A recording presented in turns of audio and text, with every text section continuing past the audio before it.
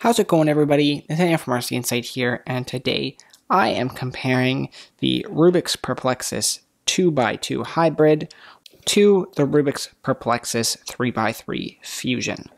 Now, uh, I have beat the 3x3, I have not completed the 2x2 yet, uh, but given that they're both uh, Rubik's Perplexus challenges and that they are similar in a lot of ways, I thought I would uh, compare and contrast them for you guys so that you can kind of get an idea of the differences between them and which one might be better to buy. Uh, I would like to say that I am still working on my walkthrough for the 3x3. It's coming out soon. It's just a really difficult video. It's a long perplexus. And yeah, so let's jump right into this. So the first thing you'll notice is despite this being a 3x3 and this being a 2x2, uh, these are almost exactly the same size. I think the 3x3 is just a touch bigger, but only slightly. Uh, like a very marginal difference. Basically the same size, which surprised me a little bit when I got it. I figured the 3x3 would be quite a bit larger. And uh, so with that being noted, the marble and track size for both of these is also the same. Now, the 3x3 here is not really a true 3x3. It is a 3x3x1, so you can see that uh, it has three uh, 9 squared sides that turn, but it obviously does not turn the other direction. It just has all on one axis, whereas the 2x2 is actually a proper cube in the sense that it turns both ways, and so each square in here can have a different rotation, whereas the rotation on the 3x3 is fixed. Uh, lengthwise, the 2x2 is from 1 to 100, and the 3x3 is from 1 to 225, making it the largest perplexus to date. That does not mean that it takes longer to complete this one, however. Uh, though there probably is a little less course in the 2x2, uh, I think ultimately this is probably a longer, more difficult challenge. I have yet to finish the 2x2, I have finished the 3x3. Um, and that is because there's a lot more thought that has to go into the fact that this is an actual working Rubik's puzzle, and the diversity in obstacles here is significantly more than you get in the 3x3. So on that note, uh, the 3x3 in terms of obstacles is very one note. There's not a whole lot of variation. You'll notice it's uh, almost entirely flat. So uh, basically, there's there's not a whole lot of uh, normal perplexuses have tracks on all different angles. This basically only has tracks on two axes, as you can kind of tell. And uh, that takes a lot of the fun out of it for me. And most of them are just flat tracks at that. There's no one wall sections, very few butterfly sections, and the ones that there are, they're all just the same type. Uh, so there's not really a lot of variety in terms of obstacles in this, and to align the course is not that difficult either because it only spins on one axis.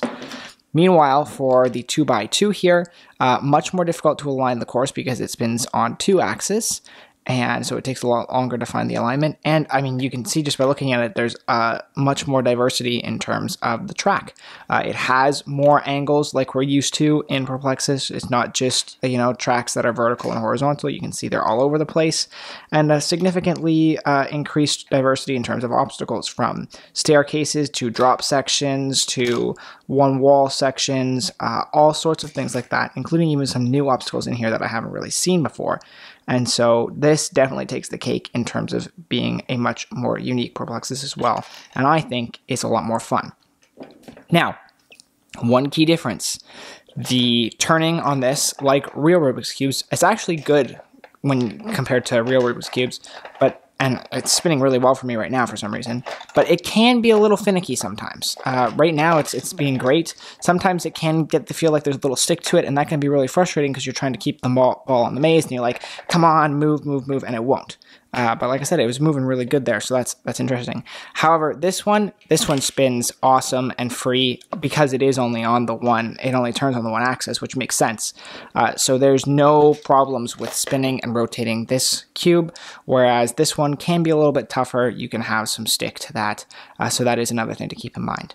Uh, probably the last thing that I want to draw on when speaking in comparison to these two is uh, this one technically is a proper Rubik's Cube in terms of the solving the Rubik's sides of it. So you notice all red, all green, all orange, all blue, all white, all yellow. It actually can be solved like a Rubik's Cube, but it doesn't actually rotate like a Rubik's Cube, so really solving it is no puzzle at all.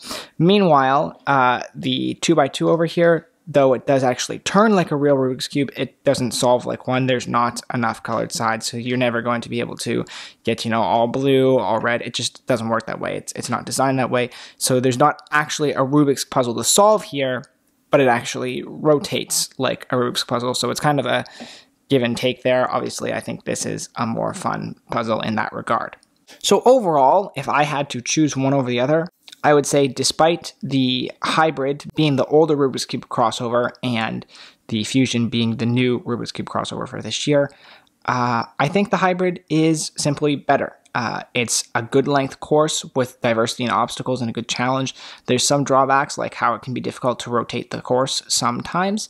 Uh, but overall, I think it's a pretty fun challenge with, like I said, diversity and obstacles, and it is a true Rubik's Cube in the way that it turns and rotates.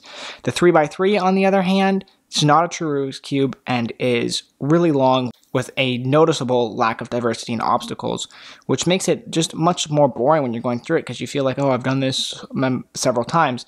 And the challenge from the 3x3 comes from the fact that oftentimes it is hard to see where the marble is in the midst of this labyrinth. And that's why it's been so hard for me to film my walkthrough is to get camera angles where you can actually even see where the marble is. Uh, that is a real challenge here.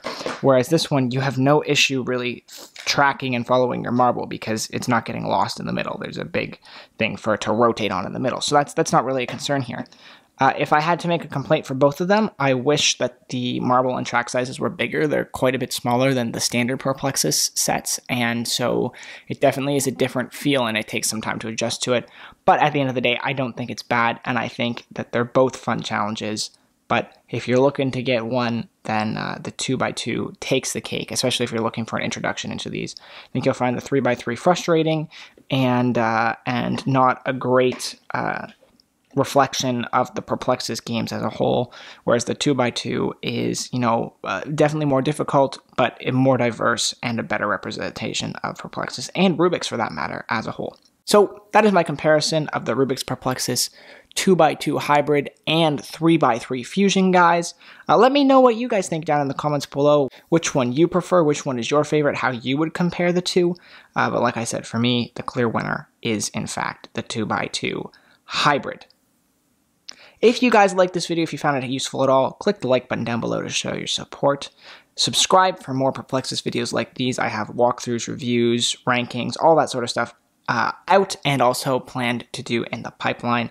So if you're interested in any of that, subscribe so you can see those old videos and get notified as soon as the new ones come out. And with all that said, thanks so much for watching, guys, and I will see you in the next video.